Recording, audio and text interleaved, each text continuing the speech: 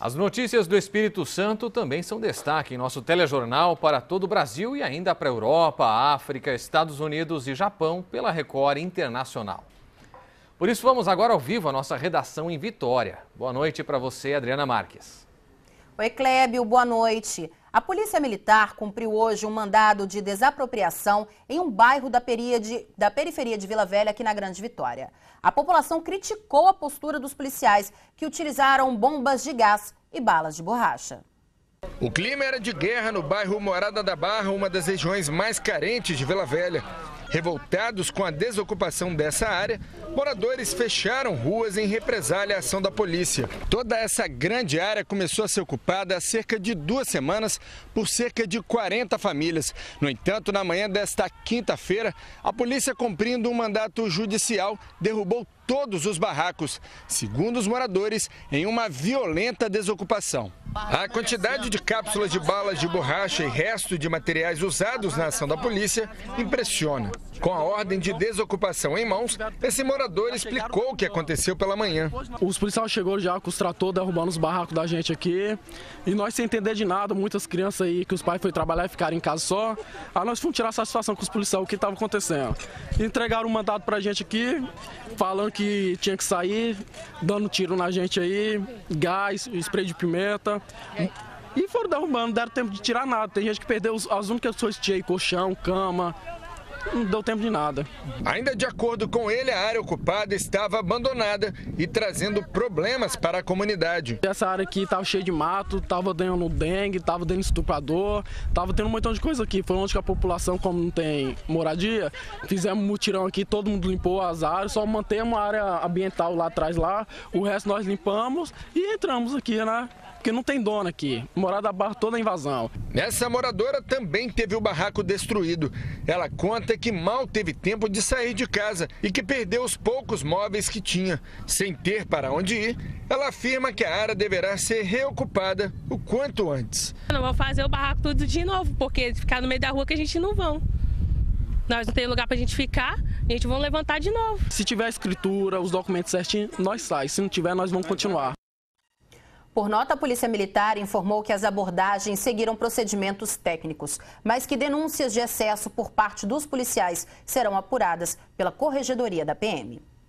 Encontrar vagas em creches públicas perto de casa é um desafio para os pais. Aqui na Grande Vitória, muitos acabam recorrendo à justiça para garantir esse direito às crianças. E a Defensoria Pública está movendo ações contra os municípios que não cumprem a lei. Aos 4, 5 anos, essa turminha já sabe coisa que deixa muita gente grande de queixo caído. One, two, three, four, five, six, seven, eight, nine, ten. Na escolinha, eles fazem diversas atividades. Brincando, eles aprendem lições valiosas. As palavras, os números e ler. De acordo Estatuto da Criança e do Adolescente, toda criança de 0 a 6 anos tem direito à escola pública e perto de casa, um lugar onde os pequenos são estimulados. O tempo inteiro você estimula a criança, tanto a fazer amigos, né, construir vínculos de amizade, quanto a construir regras. Mas, infelizmente, nem todos têm essa oportunidade. Há dois anos, Jaqueline busca uma vaga para os filhos de nove meses e de dois anos na rede pública de ensino. Já tentou em Vitória e em Vila Velha, mas nunca teve resposta. Tive que largar o trabalho, ficar em casa cuidando deles, porque para cuidar de duas crianças é muito difícil. Dos 92 bairros de Vila Velha, apenas 34 contam com unidades municipais de educação infantil, as UMEIs. Hoje, 10 mil crianças estão matriculadas e outras 6 mil estão na lista de espera. No início de 2015, o município deve ofertar ofertar cerca de 1.800 novas vagas, o que não é suficiente para suprir a demanda. A gente está nesse processo de identificação de espaços possíveis para aluguel. Existe também essa demanda das crianças de 5 anos que vão para o ensino fundamental, é, possibilitando aí uma, uma média de 1.800 vagas para que a gente possa estar tá absorvendo essas crianças que ainda estão fora da escola. Para 2015 não vai ser possível suprir toda essa demanda. Não, ainda não. Depois da separação a vendedora não pôde mais esperar. Precisou retomar as atividades e a saída foi colocar as crianças numa creche particular. Os gastos chegam a dois mil reais. Eu não recebo para conseguir né, é, sustentar esse padrão de escola particular, divido eu e meu ex-marido a despesa, porque fica muito pesada para mim. No município da Serra não é diferente. 10 mil crianças de 0 a 6 anos aguardam uma vaga na rede municipal. E como nem todo mundo tem condições de pagar pelo serviço, um caminho encontrado pelos pais foi entrar na justiça. Toda semana, cerca de 30 pessoas buscam a ajuda da Defensoria Pública do município para dar um basta nessa situação. Em setembro de 2013, foi ajuizada uma ação civil pública. Requeremos uma, que se fosse concedida uma liminar para que o Estado e o município ofertasse as vagas de educação infantil para a população da Serra. Como resposta, a Prefeitura garantiu que 13 novos centros municipais de educação infantil devem ser inaugurados de janeiro a junho de 2015. Diante de um cronograma difícil de ser cumprido, no início de setembro, a Defensoria Pública da Serra pediu em caráter de urgência a reapreciação de uma liminar que obriga o Estado e o município a custearem o ingresso das crianças na rede particular de ensino, mas até agora nada foi feito. Cada criança cadastrada no município aguarda em média três anos por uma vaga, um tempo que para o defensor, pais e alunos não podem esperar. Esse, esse dano se torna irreparável. A criança perdeu toda aquela fase de iniciação na educação, que, para o nosso entender, é a base da educação de qualquer ser humano. A Prefeitura da Serra informou que 3 mil novas vagas vão ser abertas nas creches do município até 2016. O estádio Kleber Andrade, em Cariacica, palco do show de Paul McCartney no Espírito Santo, recebe os últimos ajustes para a apresentação histórica na próxima segunda-feira. Palco e iluminação, os capixabas vão poder conferir de perto o mesmo espetáculo visto por milhares de pessoas em outros países. Toneladas de ferros e equipamentos. Obras em ritmo acelerado no estádio Kleber Andrade, em Cariacica, para o grande espetáculo. Um mega palco. A base já está montada. São 2.400 metros quadrados, do chão ao ponto mais alto, equivalente a um prédio de cinco andares. São 150 toneladas de estrutura metálica mais de 200 profissionais estão trabalhando na montagem da estrutura. Silvio nunca pensou que um dia iria trabalhar para alguém tão importante. Não tem dinheiro para ir ao show, mas está satisfeito por atuar nos bastidores. A gente nunca imaginou né, que ia trabalhar para um show do Paul McCartney. Né? Então, para a gente é uma grande honra poder estar cooperando. Né? A montagem deve ser concluída até o fim de semana. Quem conhece o Kleber Andrade vai notar as diferenças. Para o show na próxima segunda-feira, o gramado será coberto por um piso especial. Na estrutura, terá 180 banheiros químicos distribuídos no campo. O local também terá bares espalhados por setor. Nós estamos pegando o Kleber Andrade e transformando numa pequena cidade uma nova cidade, uma cidade que a gente pode chamar de cidade Paul McCartney. É a mesma estrutura internacional de Paul McCartney, do piso, do parafuso ao telão, isso tudo vem através da empresa do Paul McCartney. Aqui dentro do estádio, um forte esquema de segurança. Serão 350 pessoas envolvidas, fora policiais militares, guardas civis, municipais e também Polícia Federal, que vão estar agindo do lado de fora do evento. Aqui, a previsão é de receber de 30 a 35 mil pessoas para assistir ao tão sonhado espetáculo do ex-Beatle no Espírito Santo. 80% dos ingressos já foram vendidos. Até segunda-feira, os profissionais garantem um espetáculo de estádio para receber o público e o ex-Beatle. A chuva prevista para o fim de semana também não deve atrapalhar. Se chover como choveu na última semana, nós estamos preparados. Eu acho que é extremamente desconfortável. Vamos rezar e torcer que a gente tenha um dia maravilhoso, como nós estamos tendo nesse, nessa última semana, para que as pessoas venham curtir. Enquanto o Paul não chega, o seu João vai trabalhando todo satisfeito. É, o Paul McCartney é o ídolo do passado, o ex-Beatle. E eu adoro muito as músicas dele.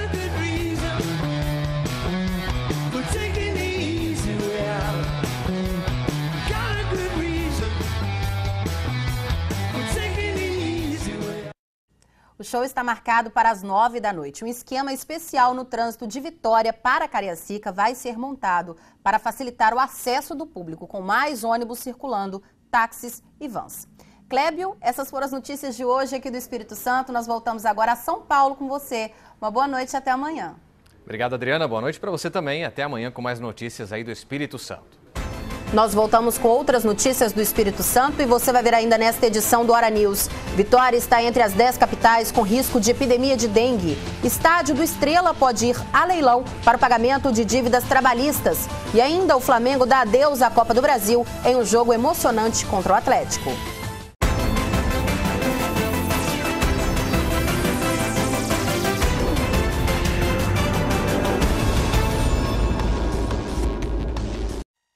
O nosso assunto agora é a dengue. Vitória é uma das 10 capitais em situação de alerta por causa da doença. Apesar do número de casos ter diminuído em relação ao ano passado, ainda existe o risco de uma nova epidemia aqui na capital. A rotina dos agentes de combate a endemias em Vitória é sempre a mesma: abordar os moradores e vistoriar os imóveis. Vasos de plantas, pneus, lugares fáceis para depósito de água e com ele o mosquito da dengue. A dengue é motivo de preocupação no país. Vitória e outras 10 capitais brasileiras estão em situação de alerta por causa da infestação do mosquito transmissor da doença. É o que revelou uma pesquisa feita em outubro desse ano pelo Ministério da Saúde. O Ministério da Saúde já preconiza que a cada 100 casas que os agentes visitam, no máximo 10, no máximo 10 poderia ficar sem receber a visita, sem comprometer o trabalho. O município de Vitória, no último ciclo, no terceiro ciclo agora, obteve um percentual de cerca de 30% de casas sem visita. E isso tem se mostrado, juntamente é, com a dificuldade ainda que o cidadão, que o morador tem de realizar semanalmente a vistoria no seu ambiente domiciliar, né, na eliminação de focos, esses dois fatores têm se mostrado como os principais desafios para a gente combater o controle, combater o vetor da dengue. Segundo a pesquisa, 117 municípios brasileiros estão em situação de risco, outros 533 em alerta. O relatório apontou que o número de casos registrados de dengue caiu 61% entre janeiro e outubro desse ano, em comparação ao mesmo período de 2013. Também houve queda nos óbitos. Foram 379 mortes contra 646 confirmados no ano passado, uma redução de 41%. Apesar disso, o alerta para novos casos continua. Para reduzir os números, foi implantado na capital do estado um plano de contingência da dengue.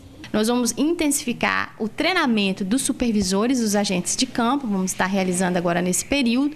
É, vamos também é, estar ampliando o nosso horário de visitas. É, a gente vai aproveitar o horário de verão agora para realizar visitas no período de 5 a 7 da, da noite né, e também aos finais de semana, exatamente visando é, favorecer ao cidadão, ao munícipe, que possa, eventualmente, não, é, não estando em casa no período normal, né, ele possa receber esse agente mais tarde, para que a gente possa fazer orientação, identificação e eliminação dos criadouros. A maioria dos focos é encontrada no interior das residências, mas a dona Nair faz a parte dela. No quintal de casa, ela criou um espaço coberto para não ter o risco da água da chuva armazenar nos depósitos. Meus irmãos, meus cunhados que estão em apartamento, não tem lugar de botar as coisas, como pneu, essas vasilhas ali, ó. Tem muita coisa aqui que eles levam lá para a roça. Então, enquanto que não tem uma possibilidade para levar, fica aqui guardado aqui. Mais uma tragédia nas estradas. Três amigos passaram um dia em Guarapari e na volta para casa bateram na traseira de um caminhão. Dois deles morreram na hora. Um foi internado em estado grave. Foi ontem à noite no bairro Canaã, em Viana. O carro ficou irreconhecível após a batida. Três homens estavam no veículo quando atingiram a traseira desse caminhão no quilômetro 300 da BR-101 em Viana. O motorista identificado como Jonathan Correia Schutz e Jean Almeida Martins, que estava no banco de trás, morreram na hora. Já o carona, Júlio César Melo, foi socorrido para o Hospital São Lucas em Vitória. os bombeiros tiveram muito trabalho para retirar as vítimas. Pelo carro estar debaixo do, do, da viatura do, do, do caminhão, então a, o acesso à vítima foi um pouco dificultoso, né? Então tivemos que estabilizar o, o veículo todo. É, a expansão do, do, teto não deu para fazer porque ele estava totalmente debaixo do, do, do caminhão. Então tivemos que, que, que tentar um outro jeito, abrindo a lateral do carro e tirando a vítima que estava ainda com sinais vitais. Segundo uma testemunha que fazia o mesmo trajeto, os rapazes passaram por ela a mais de 100 km por hora e fazendo zigue-zague. E poucos quilômetros depois, na altura do bairro Canaã, eles acabaram colidindo com um caminhão que estava neste local. Essas duas mulheres disseram que foram convidadas pelos rapazes para ir à praia em Guarapari mas resolveram não aceitar o convite, uma escolha que salvou a vida delas. Pela manhã ele ligou no telefone dela, pedindo para chamando a gente para ir para Guarapari. Aí a gente falou assim: "Ah, vamos ver". Aí na última hora foi que a gente falou assim: "Não, a gente não, não vai não". A gente está triste, mas ao mesmo tempo aliviada. A gente fica muito chocado com o acontecimento, entendeu? E mais triste ainda por você saber que sei lá, que poderia ter acontecido contigo também, entendeu? Mas enfim, é uma tristeza muito grande. Para as famílias, então, não gosto nem de, de imaginar. A pista teve que ser interditada e o trânsito desviado por conta do grave acidente. Após mais de duas horas de trabalho dos bombeiros, a pista foi liberada. O estado de saúde de Júlio César Melo, socorrido e levado para o Hospital São Lucas, é bastante grave. E hoje cedo, o motorista perdeu o controle do carro e invadiu o estacionamento do Ministério da Fazenda no centro de Vitória. Olha só. O acidente foi por volta de 5 e meia da manhã na Avenida Beira Mar, centro de Vitória. Segundo testemunhas, o carro vinha em alta velocidade, passou direto na curva, bateu na grade de proteção e foi parar dentro da garagem do prédio do Ministério da Fazenda. O motorista fugiu imediatamente. A frente do veículo ficou toda destruída. O proprietário do carro fez o boletim de ocorrências, mas não quis gravar a entrevista. Ele disse que o motorista de 30 anos teria roubado o veículo da empresa de remoção na madrugada, onde era funcionário há dois anos. O veículo foi retirado pelo guincho e levado para Vila Velha. O aumento das multas para infrações em rodovias federais é o assunto da nossa enquete dessa semana e nós queremos saber. Você concorda que com o aumento da multa as infrações vão diminuir? Sim ou não? Vote e dê a sua opinião. O nosso site é o simnoticias.com.br. E a seguir as notícias do sul do estado, direto de Cachoeiro de Itapemirim. O Aranis volta já.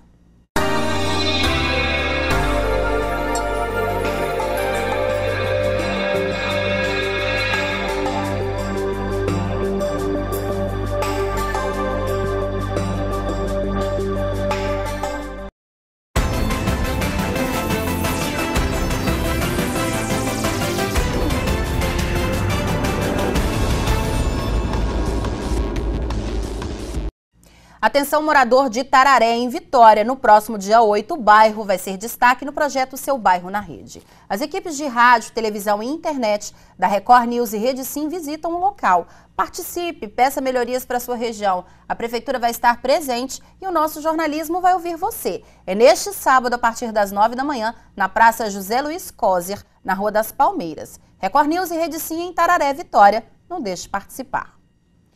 Colatina é o principal polo de moda do Espírito Santo. Agora, as maiores confecções estão reunidas em um único lugar para facilitar a vida de compradores de todo o país. Foi inaugurado na cidade o maior shopping atacadista do estado.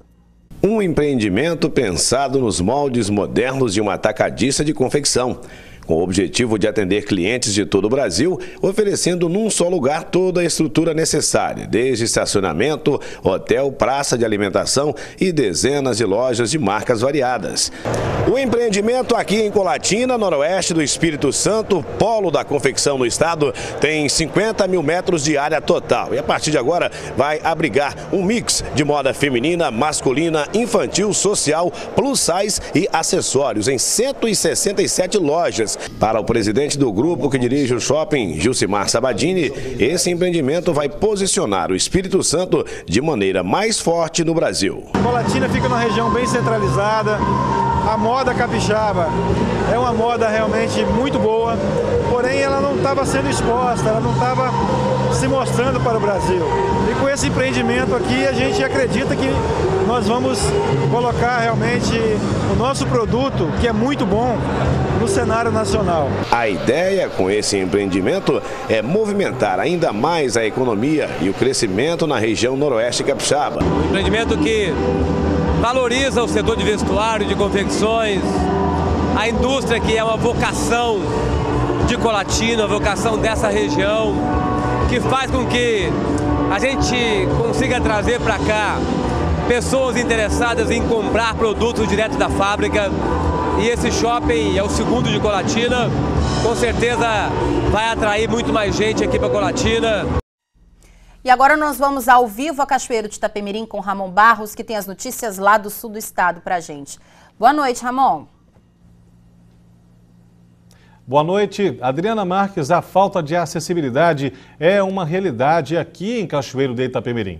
A cidade não é preparada para garantir os direitos dos deficientes físicos. Até mesmo prédios públicos, que deveriam dar o exemplo, não cumprem a lei. Ir e vir é um direito de todos garantido por lei, mas para deficientes físicos e pessoas com mobilidade reduzida, essa não é a realidade em Cachoeiro de Itapemirim. As calçadas, além de não serem adaptadas, são irregulares e estão cheias de buracos. Tem muitos obstáculos, como entulho e até mesmo postes que atrapalham a passagem. É necessário que se efetive tá, o que está prescrito na lei, né, que se cumpra isso de fato. E na questão do, do, do, transporte urbano, né, dos ônibus, a gente percebe que, que bom, temos elevadores, que bom, existe né, é, profissionais sendo treinados para isso.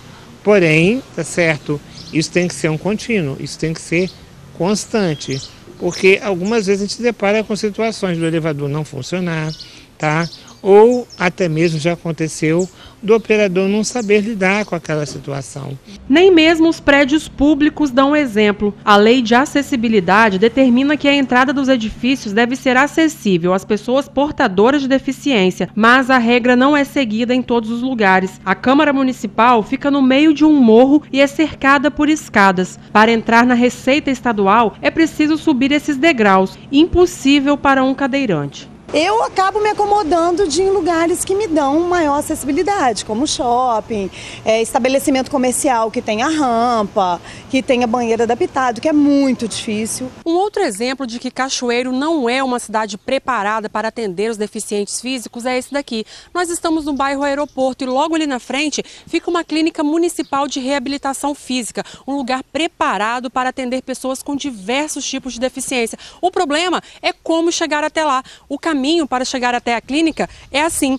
todo de calçamento irregular e sem calçadas. Um cadeirante, por exemplo, não consegue passar por aqui sozinho. É um desafio imenso, tá, para quem tem uma limitação física seja o cadeirante, seja o moletante, entendeu? Alguns avanços já foram feitos, como o transporte adaptado e a reserva de vagas para deficientes, mas nem sempre esse direito é respeitado até mesmo em local assim como supermercados, que tem ainda cones, tem gente que tem capacidade de tirar, de parar na vaga, não respeita. É uma, assim, é uma triste realidade, infelizmente. E para eu sair de carro, parar em, em local público, é difícil por conta dessa falta de respeito que ainda existe. O Estrela Futebol Clube pode perder a sua sede, o estádio Mário Monteiro, mais conhecido como Estádio do Sumaré.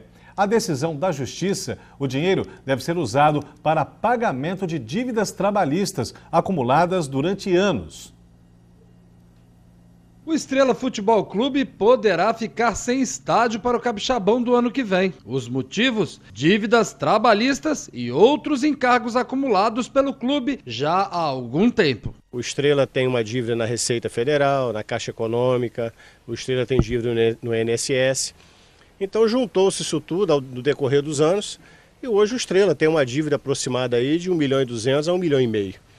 E o juiz, né, ele entendeu que precisava levar o estádio a leilão para pagar essas dívidas, principalmente a trabalhista, e infelizmente ele tomou essa decisão. Os lances poderão ser acompanhados pela internet na sede da Assise, Associação Comercial, Industrial e de Serviços. A justiça aponta para uma área com cerca de 14 mil metros quadrados, onde são incluídos arquibancadas, campo de futebol e todas as várias dependências. O presidente do clube, Adilson Conte, diz estar tomando as providências necessárias para não perder a sede. O nosso advogado está preparando um recurso para entrar, tentar anular o leilão, mas mesmo que a gente não consiga anular em Cachoeiro, vamos recorrer em outras instâncias, porque defendemos os interesses do Estado do Norte. Segundo o diretor Adilson Conte, outro problema enfrentado é o pai pronto atendimento infantil que funciona aqui nas dependências do clube. Segundo a presidência do clube,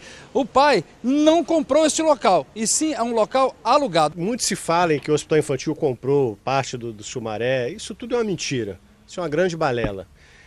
O Estrela do Norte tem um contrato de aluguel com o Hospital Infantil, firmado pelo ex-presidente do clube, e esse contrato tem duração de cinco anos e ele vai vencer no dia 26 de julho de 2015, portanto, ano que vem. E nós já comunicamos ao hospital que o Estrela do Norte não tem interesse em renovar o contrato. Automaticamente, eles terão o prazo determinado em lei, determinado dentro desse próprio contrato, para que eles deixem o lugar. Mesmo com tantos problemas, o presidente é otimista que o clube resolva mais esse impasse e já faz planos para os próximos campeonatos e conta quais medidas estão sendo tomadas. O ano de 2015 ele vai ser muito movimentado pelo Estrela. O Estrela foi campeão estadual, então nós vamos representar o Espírito Santo na Copa Brasil a partir de fevereiro. Vamos representar o Espírito Santo na Copa Verde também a partir de fevereiro. Dia 8 já tem uma estreia marcada aqui contra o Lusiana, lá de Goiás. Tem a Copa dos Campeões, dia 26 de janeiro, com o jogo aqui no Sumaré. E tem o campeonato estadual que nós vamos brigar pelo bicampeonato. Nossa reportagem tentou falar com o diretor do pronto atendimento, mas ele não atendeu as nossas ligações. Bom, por hoje é só, Adriana. Voltamos com você em Vitória. Nós temos encontro marcado amanhã. Uma boa noite e até lá. Obrigada, Ramon. Boa noite até amanhã. A seguir, Galo bate Flamengo em jogo histórico e o rubro-negro dá adeus à Copa do Brasil. A gente volta já.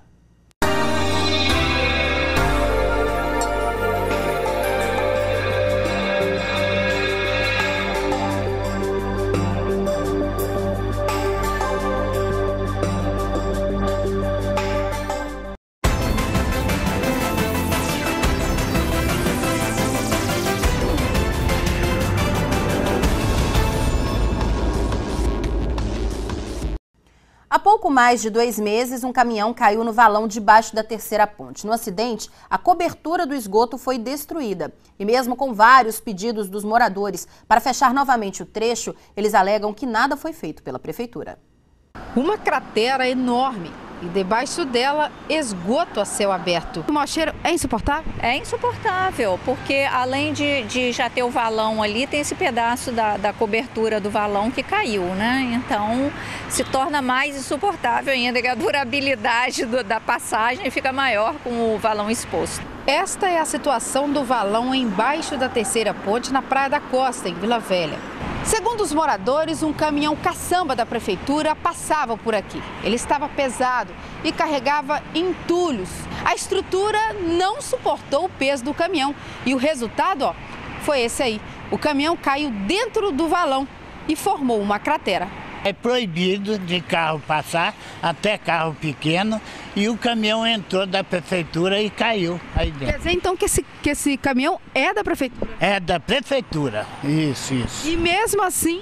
Nada resolvido, nada resolve. A situação está assim há quase três meses. O local foi isolado. O buraco é um perigo para quem passa por ali. Em volta dele, muita rachadura e pode cair a qualquer momento. O César mora em frente, está com medo, além de ter que suportar o mau cheiro que se intensificou. Assim como ele, outros moradores já fizeram várias reclamações à prefeitura, mas até hoje nenhuma providência foi tomada. Esse tempo todinho aberto aí, esse mau cheiro que a gente não está aguentando, não sei o que, que eles vão resolver. Por nota, a Prefeitura de Vila Velha informou que, como está trabalhando na drenagem do Canal da Costa, a cratera embaixo da terceira ponte não pode ser tapada. Disse ainda que o concreto que caiu junto com o caminhão foi todo retirado do canal. E agora nós vamos falar de esporte. Atlético e Cruzeiro vão se enfrentar em uma final mineira da Copa do Brasil. A rodada ontem foi de muitos gols e emoção. Assunto claro para o Flávio Simões. Boa noite, Flávio. Boa noite. Boa noite, Adriana Marques. Boa noite a todos. Pois é, Adriana, tivemos ontem uma noite para lá de emocionante no que diz respeito ao futebol brasileiro. Acho que nem mesmo o mais otimista torcedor do Atlético Mineiro acreditava que o time pudesse despachar o Flamengo com uma goleada de 4 a 1. Principalmente depois que o time rubro-negro fez logo 1 a 0 aos 34 minutos. Ou seja, o Atlético teria os 11 minutos restantes da primeira etapa, mais os 45 do segundo tempo para tentar fazer quatro gols. Difícil? Muito. Mas o Atlético Mineiro mostrou na noite de ontem que dificuldade é uma palavra que não combina bem com o Galo Mineiro. O time empatou no fim do primeiro tempo com Carlos, virou aos 11 do segundo tempo com Mike Suel, fez o terceiro gol aos 35 com Dátulo e o consagrado quarto gol aos 39 com Luan. E ainda nos acréscimos, o goleiro São Vitor garantiu o Galo na final com duas defesas para lá de sensacionais. Resultado: Atlético Mineiro classificado e festa dos 41 mil torcedores que lotaram o estádio. No outro jogo, o Cruzeiro, que havia vencido a primeira partida por 1 a 0, tomou um gol logo no início do jogo, empatou logo em seguida, mas levou 2 a 1 ainda no primeiro tempo. E o 3 a 1 que o eliminaria aos 13 minutos do segundo tempo. Teve então de trabalhar muito para recuperar a vaga na final, coisa que só veio acontecer aos 35 minutos quando o William fez o segundo gol. Placar final 3 a 3 e nós vamos ter agora aí uma final genuinamente mineira, com Atlético e Cruzeiro brigando pelo título. Bom, mas vamos aos gols que marcaram a noite de ontem pela Copa do Brasil. Vamos ver. Bola de jogo importante fica viva o tempo inteiro. Gosta de acordar a trave, como foi neste chute de Diego Tardelli. Ou de morrer na rede. Everton fez 1 a 0 para o Flamengo ao Atlético tentar marcar mais quatro gols e não sofrer nenhum. E o Galo empatou ainda no primeiro tempo. Carlos. Nesta boa jogada de Luan, Michael Suel virou o jogo. 2 a 1 Atlético. Dátolo acertou um chute perfeito e deixou o Atlético perto de mais uma façanha. 3 a 1. A galera acreditou e o time foi com tudo.